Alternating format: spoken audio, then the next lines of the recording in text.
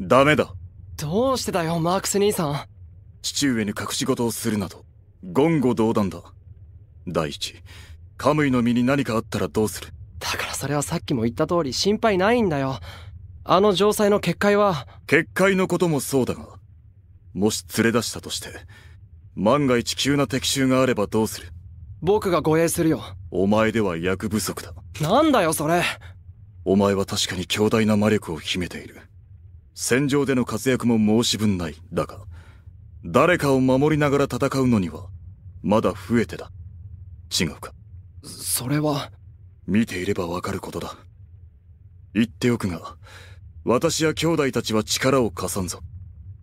私に話を持ちかけたということは少なくとも自分だけでは心もとないと思っているのだろう。な図星かそのような気構えの者にはなおさら任せられんな。こ怖えさすがはマークス様。王者の風格だな。あんな眼光で貫かれたら行っちまいそうだぜ。おいラズワルド。マークス様って怒ると怖いんだな。うんそうかな。いつも僕が怒られる時もあんな感じだから何とも思わないけど。本当かよ早急のラズワルドよ。俺は今生まれて初めて貴様のことを心より尊敬したぞ それはどうも漆黒のオーディン。でもマークス様眉間のシワがどんどん深くなってるしこのままだとまずいかもね。よーしここは進化であるこの僕がかっこよく一肌脱いでみようかな。あのマークス様そう怒らないでくださいよ。もう少し弟君に歩み寄られても。ラズワルド家族の問題に口を出すな。はいすみません。弱すぎるだろ諦めの早いやつだ。進化とは無力なものだよ。二人とも。とにかくお前が何を言おうとカムイを連れ出すことは認めん。分かったな。返事は？分かったよマークス兄さん。その言葉を聞いて安心した。いいか。カムイの件はことを急ぐな。私だってカムイをあのまま閉じ込めさせるつもりはない。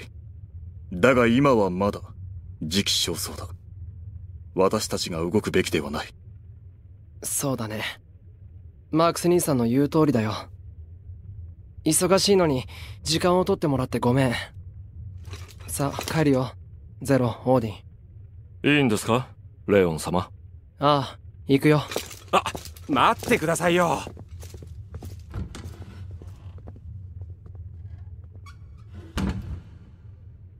へえずいぶんあっさり引き下がられましたね。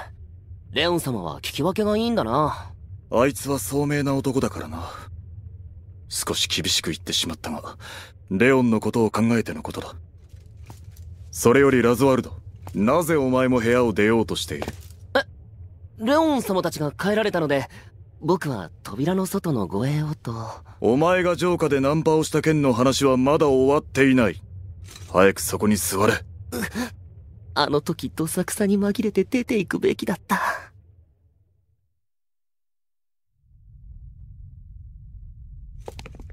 本当に良かったんですか？レオン様。せめてもう少し説得をされてもいいんだよ。あれ以上は時間の無駄だ。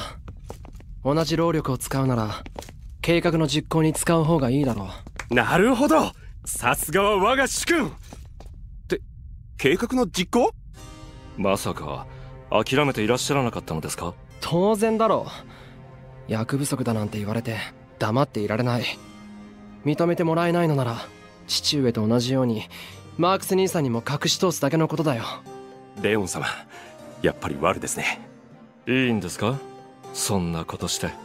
いいんだ。それに全部内緒にするわけじゃない。